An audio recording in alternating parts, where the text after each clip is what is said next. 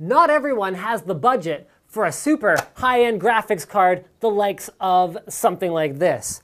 Some people rely on the integrated GPU that's built into their motherboard or their CPU or their APU or whatever processor they have on their board to get them through their basic gaming requirements. This is a roundup where we're going to take Trinity, AMD's new A10 and A8 series processors on the FM2 platform, and go head to head with Intel's Ivy Bridge Core i3 on their LGA 1155 platform to find out who wins when it comes to your value gaming dollar.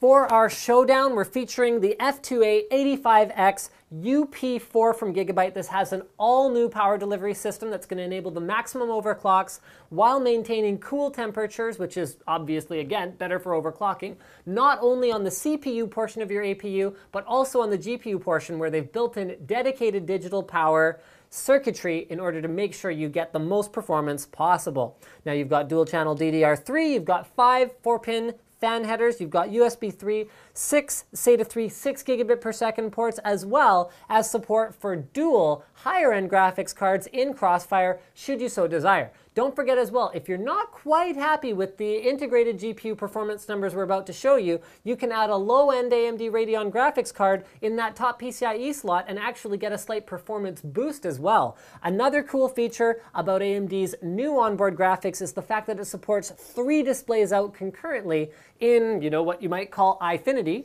say for example, if you were into AMD terminology, um, without even adding a dedicated graphics card.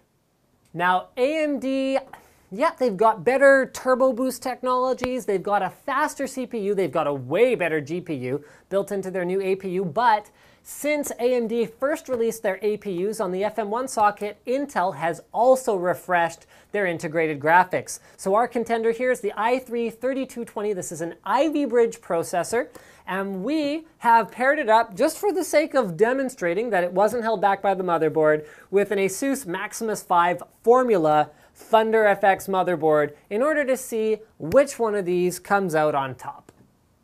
Now let's find out how the all-new Trinity architecture APUs perform. We picked two super mainstream titles and ran a variety of different setups to find out how things go down. So first is up is Call of Duty Black Ops. So we've got our two new Trinity APUs. This is the 5800K, sorry about that B there, and the A8 5600K. They top the chart. So the A10 is clocked faster on the CPU and has a more powerful GPU with more functional units. It gets 40 FPS. This is a very playable experience for that matter. So is 36.4. As soon as we go down to a 3770K, bearing in mind this is a CPU that costs a lot more than our APU, we drop down to 27.2. Now the CPU on a 3770K is much more powerful than the Piledriver cores on the Trinity APU. But because the graphics core here is so much more powerful than what's here with the HD 4000 graphics, well, you can see the difference in performance. And this is very noticeable when you're actually playing. It dips and it jerks and it chugs. The 3570K falls yet again a little bit because it's a slightly slower CPU core on that one, but still with HD 4000 graphics.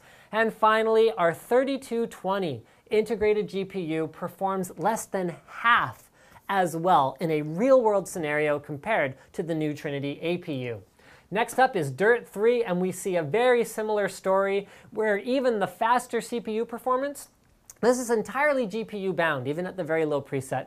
Even with the faster CPU performance on that 3770K, there's almost no difference from a 3220 to a 3770K when they're using their onboard Intel HD graphics.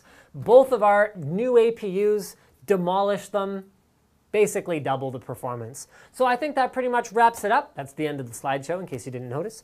If you are looking for a budget gaming machine, okay, you want to play games on your integrated graphics card, looks like this is pretty much the way to go, folks. Thanks for checking out this episode of NCIX Tech Tips, and we'll see you next time in Integrated GPU Wars.